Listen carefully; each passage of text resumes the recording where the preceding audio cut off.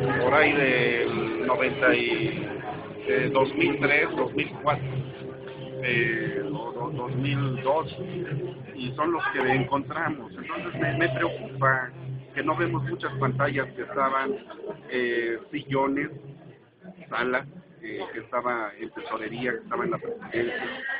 Entonces, lo tenemos que valorar.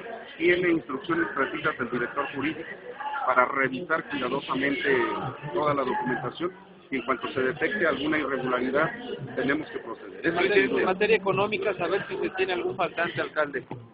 Eh, en cuanto a lo, los recursos, la tienda pública, lo que nos preocupa son los laudos.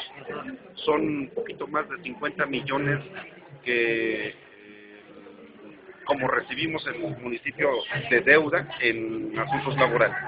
Hay alrededor de 18 millones en laudos ya en etapa crítica, ya de ejecución, y están trabajando a marcha forzada los abogados para que al inicio de esta semana no vayamos a llevarnos sorpresas de embargos o alguna otra situación. Pero está crítica la situación en cuanto a laudos. Más de 30 laudos ya en etapa de ejecución. Que son los 18 millones. Que se dan en la periferia donde está la trata de personas,